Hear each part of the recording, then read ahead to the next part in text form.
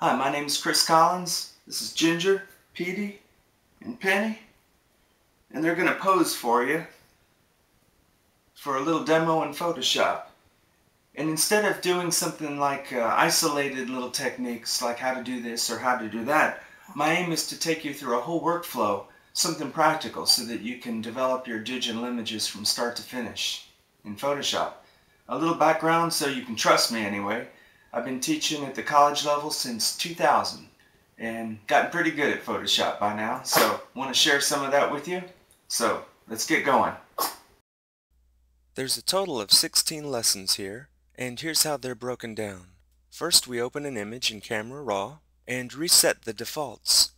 Then we develop our image and open it up in Photoshop. The first thing we'll do in Photoshop is to configure the workspace. Then begins the actual retouching. We start with the liquify filter. Next we'll clone and heal.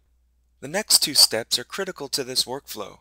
Shadows and highlights, and adding contrast with the unsharp mask. I'd like to thank my friend Dave, a professional retoucher in South Florida, for showing me these two steps. Next in the workflow is dodging and burning. The next four segments concern adjustment layers, levels, curves, hue and saturation, and what I like to call local, meaning just using a mask. Then we'll add a vignette, reduce noise and sharpen, add some subtle noise for detail, and prepare the image to print. All of this begins in the next segment.